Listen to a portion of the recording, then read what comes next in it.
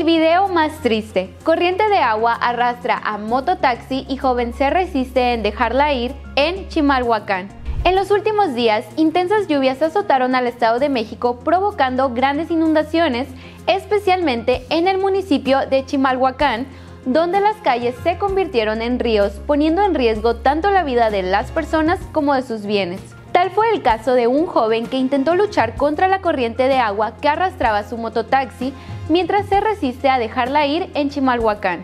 En redes sociales circula el triste video en el que se muestra al joven llamado Justino luchar contra las fuerzas del agua y de todas las maneras posibles para salvar su mototaxi, herramienta indispensable para su trabajo diario. En las imágenes se le ve aferrarse a su mototaxi en medio de la corriente de agua, la cual amenaza con arrastrarlo, mientras los vecinos, preocupados y desesperados, le piden que deje ir la unidad. Suéltalo, suéltalo, suéltalo. Los gritos de una mujer a Justino para que deje ir su mototaxi y se ponga a salvo.